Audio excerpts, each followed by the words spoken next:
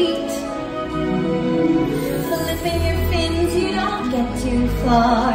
Legs are required for jumping, dancing, strolling along down the